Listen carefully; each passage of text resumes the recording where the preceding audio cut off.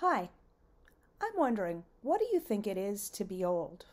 What do you think it's like to be old and to live with a chronic condition like cancer or arthritis or heart disease?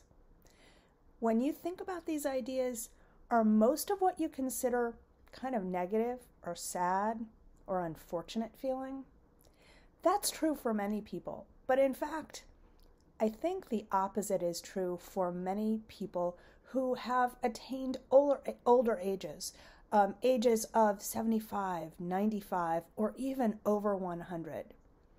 Hi, I'm Sarah Kagan, and I am a nurse. I've been a nurse for 35 years. I'm a professor in the School of Nursing, and I'm the gerontology clinical nurse specialist in the Abramson Cancer Center at Pennsylvania Hospital in our Joan Karnell supportive care program.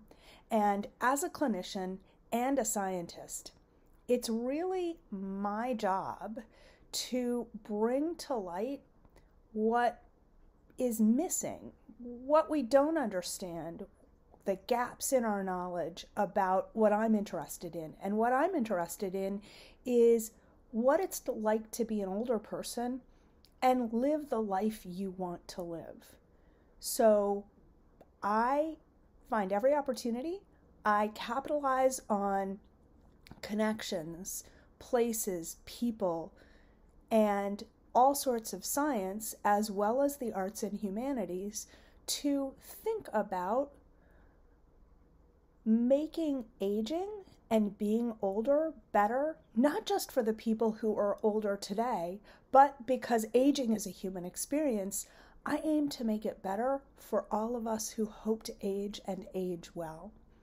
You might wonder, how have I been doing this for 35 years and why did I de- decide to focus on the things that I do? Well, that really stretches back to my own childhood. I got interested in understanding what it is to be older, not because I want to help older people per se, though as a nurse, as a person, I love to help all people. I got involved, I got interested because I realized I loved learning from older people. And I knew that at a very early age.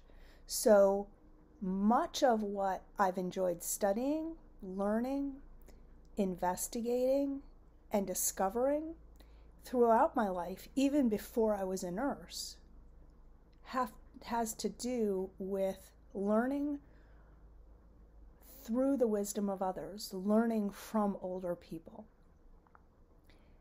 As someone who came to nursing after an undergraduate degree at the University of Chicago in behavioral science, you might not be surprised to know that I actually use behavioral techniques um, and approaches, research methods to do almost all of my work. And those are really best described as qualitative methods. I studied behavioral science, so psychology, um, social psychology in particular, sociology, anthropology, and related fields um, in my undergraduate years before I did my undergraduate degree in nursing.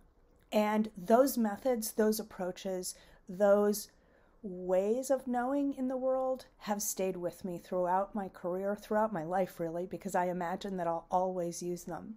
So the research that I do entails interviews and observations to recognize what it is that the people who are living the experience that I want to know more about have to say about it, how they reflect on it, what they make of it, how they analyze the experiences they have, the meaning they synthesize from it.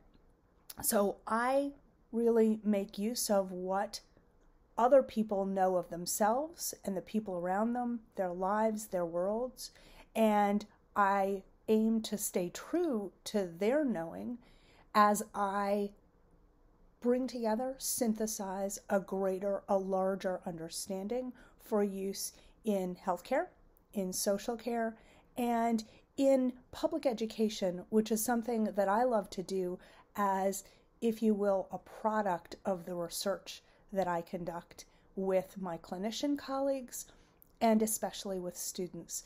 I've always enjoyed working with undergraduate students from nursing and from all other majors. Anyone can be interested in the human experience of aging and what it is to be old. So I welcome all students to get involved with my research, learn more, and figure out how they can find their own place in it uh, make their own discoveries and go on perhaps to their own scientific careers, their own clinical careers if they're interested in healthcare, or to influence social care, policy, and many other aspects of our aging world. Thanks. I hope you're having a great day, and I'll look forward to talking to you more about what it is to be old. Take care. Bye bye.